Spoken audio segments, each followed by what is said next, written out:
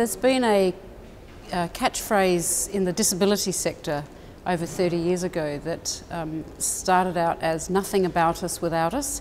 And the dementia advocate community, which was very small 20 years ago, took that saying, nothing about us without us. And we believe that all events should include the voice of people with dementia. So predominantly the voice of the family carer or the voice of the doctors and nurses or the researchers has been the one talking about what it's like to live with dementia. Well, we say that unless you've got dementia, you don't actually know what that's like.